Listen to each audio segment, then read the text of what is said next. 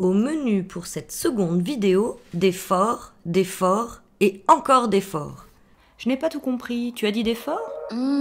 Bien cachés dans les bois, souvent sur les hauteurs, les dizaines de forts de la seconde ceinture fortifiée tentent de résister au temps. Ils sont souvent délaissés et à l'abandon, parfois entre les mains de particuliers, comme ici le fort de Champagne, lieu privilégié pour l'activité de loisirs appelée airsoft. Deux forts se démarquent, Drian et Wagner. Entretenus par des associations et présentés au public en tant que lieu de mémoire, ils méritent toute notre attention. La portée des canons s'accroît encore. C'est pourquoi l'état-major allemand décide de doubler la première ceinture fortifiée par une seconde ceinture en tout début du XXe siècle. Huit groupes constituent cette seconde ligne. Chaque groupe comprend une caserne principale entourée de blocs défensifs. Des ouvrages d'infanterie dispersés entre les groupes viennent souvent en appui au groupe principal. Explorons cette seconde ceinture.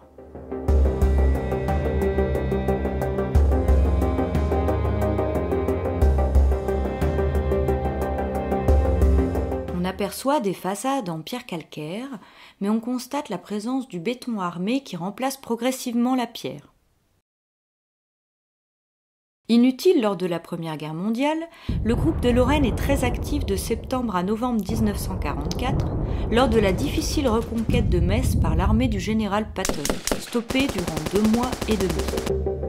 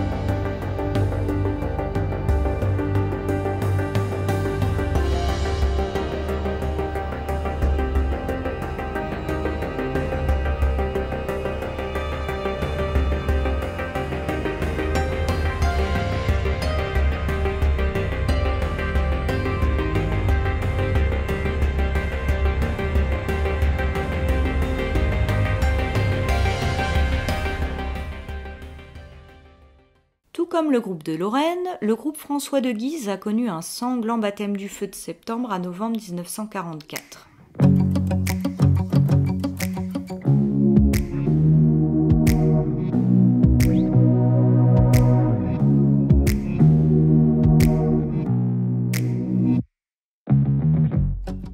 Ce groupe est situé sur les hauteurs dominant Châtel-Saint-Germain et Roseriel, tout proche du circuit de motocross, mais aussi à quelques centaines de mètres du plateau de Gravelotte, là où s'est déroulée la bataille meurtrière de 1870.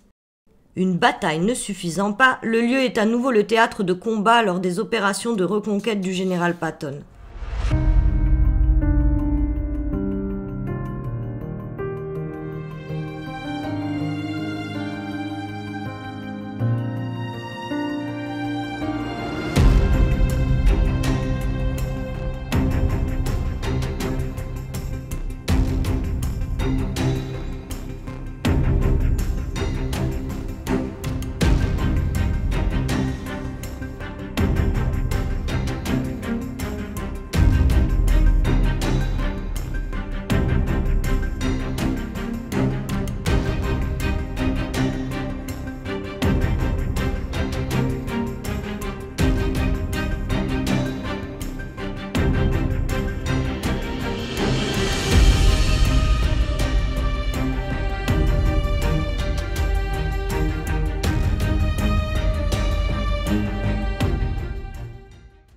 Sur les hauteurs dominant les villages de Jussy, de Vaux et d'Ars-sur-Moselle, la ceinture fortifiée comprend une série de sept ouvrages secondaires.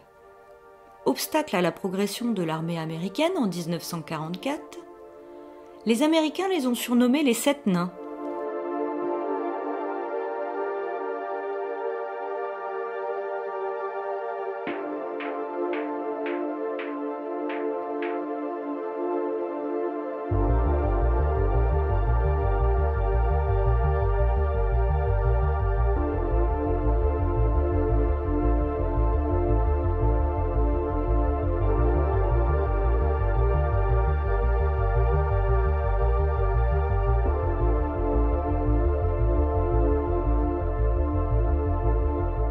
Le fort de Bois-la-Dame présente toutes les caractéristiques des forts de la seconde ceinture. Un fort enterré avec sa longue façade donnant sur un fossé creusé et tournant le dos aux tirs ennemis. Une face supérieure à hauteur du sol, une conception en béton armé.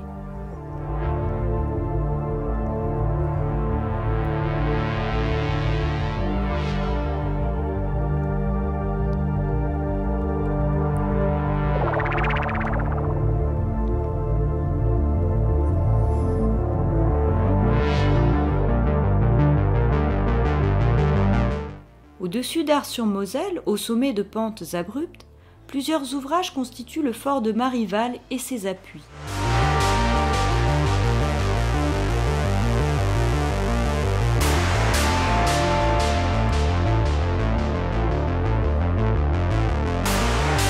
Le fort creusé dans la roche est inachevé.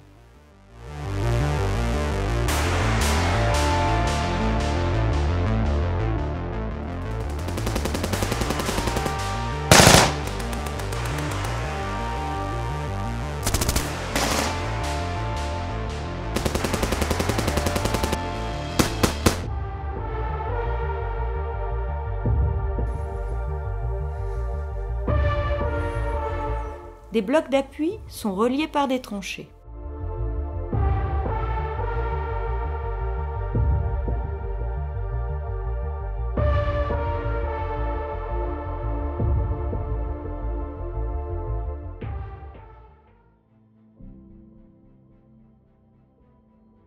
Reconnaissez-vous cet ouvrage au pied de cette pente?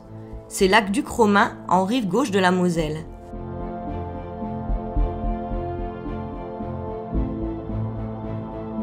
En gravissant la côte de Moselle pour atteindre le sommet, tu arrives sur le groupe Drian, dont la mission est de contrôler la vallée de la Moselle. Des combats acharnés s'y sont déroulés durant l'offensive américaine, de septembre à novembre 44. Le groupe, tout comme ses voisins, les groupes Jeanne d'Arc, de Lorraine et Verdun, a contribué à ralentir la progression américaine et permis à l'armée allemande de se replier sur le Rhin et en Sarre pour s'organiser sur la ligne Siegfried.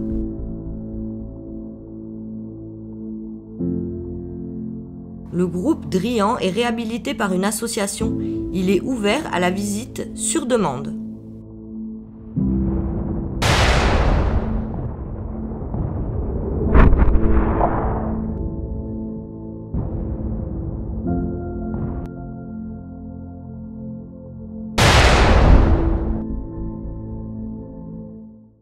Les forts Saint-Blaise et font face au groupe Drian en rive droite de la Moselle sur deux collines voisines.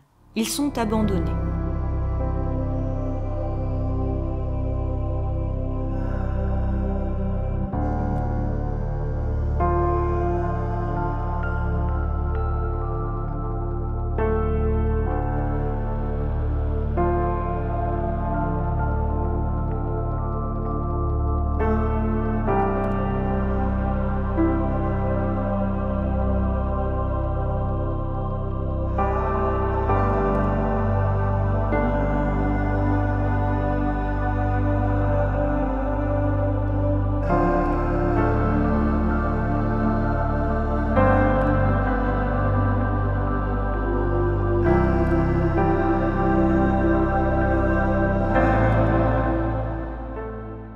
Septembre 1944, l'état-major américain choisit Dorno pour la traversée de la Moselle.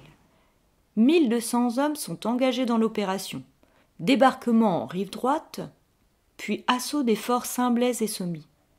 Le fort Saint-Blaise est imprenable et les renforts de blindés allemands arrivent. Le bataillon se replie, mais il a ordre de conserver à tout prix la position en rive droite afin d'occuper les Allemands, tandis qu'une nouvelle traversée est réalisée plus au sud. Durant 60 heures, les combats sont acharnés et font 945 victimes américaines, la plus sanglante bataille en Europe après le débarquement de Normandie. Depuis le fort Wagner, on aperçoit les deux collines des forts Saint-Blaise et Sommy. Grâce à un circuit aménagé et accessible toute l'année, le fort Wagner réserve la plus belle découverte de ce que représente un fort de la seconde ceinture fortifiée.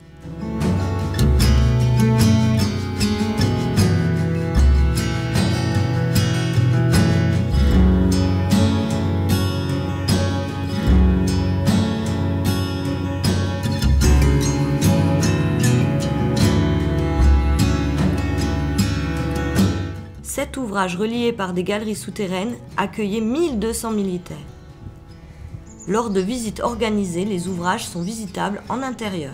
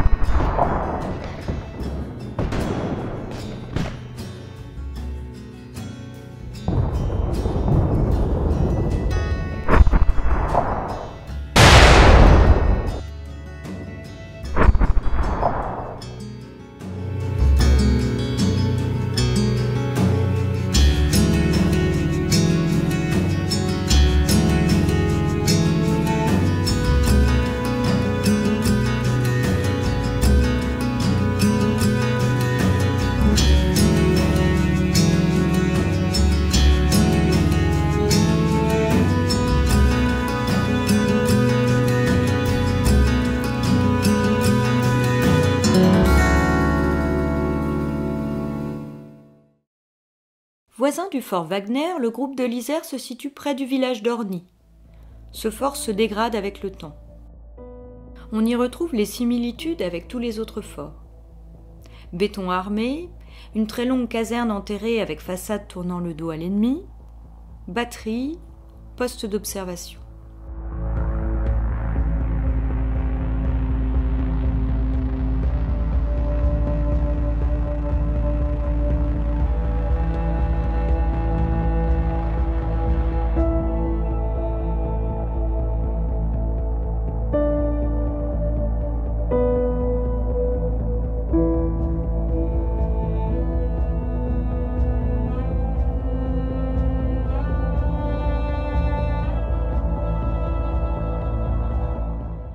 Voyons maintenant deux ouvrages intermédiaires.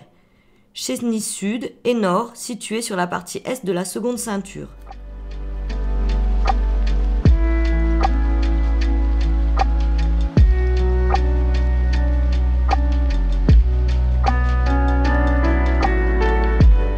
Chesny Sud est délaissé et connaît les ravages du temps.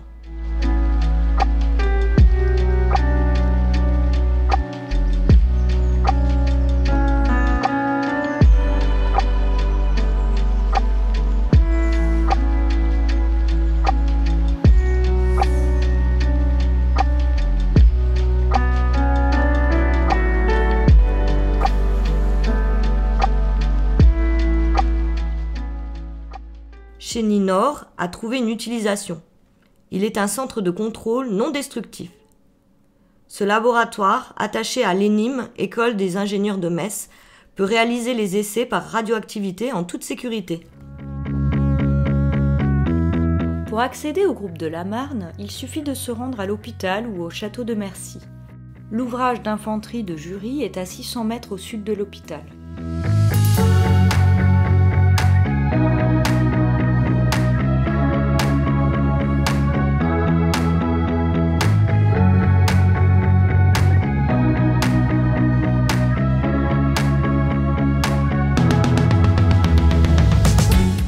Fort de Mercy, tout proche, est caché dans le bois. Le fort est méconnaissable, fortement détruit. Suite à l'attaque d'un bombardier américain en septembre 1944, les ogives de torpilles entreposées dans le fort ont fait exploser le fort, laissant un important cratère. Le troisième ouvrage est le point d'appui d'Ars-Lakenexy. Ars-Lakenexy, n'est-ce pas le village où l'on peut découvrir un magnifique jardin d'arbres fruitiers et de plantes?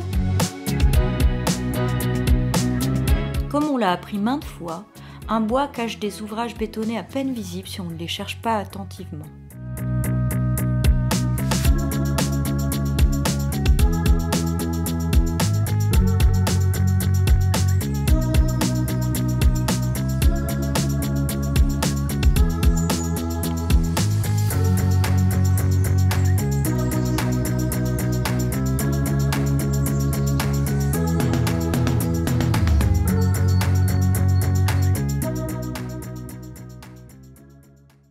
Dans ce bois, le fort Lovalière surveille les arrivées de l'Est.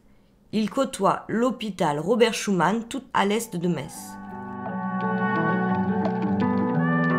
On pourrait parler de bois marin car le fort a aujourd'hui les pieds complètement dans l'eau.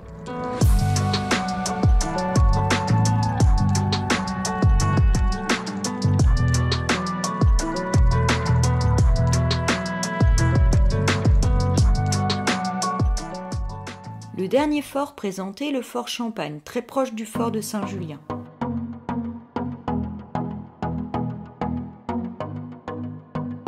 Caché dans ce bois, il dispose de la longue façade bétonnée. Vous trouvez qu'il fait désordre Normal. Ce fort est progressivement restauré par un propriétaire privé et il sert de terrain de manœuvre pour l'activité de loisirs appelée Airsoft. Avis aux amateurs.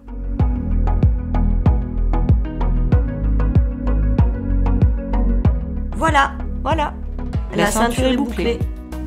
Je dis que c'est fini.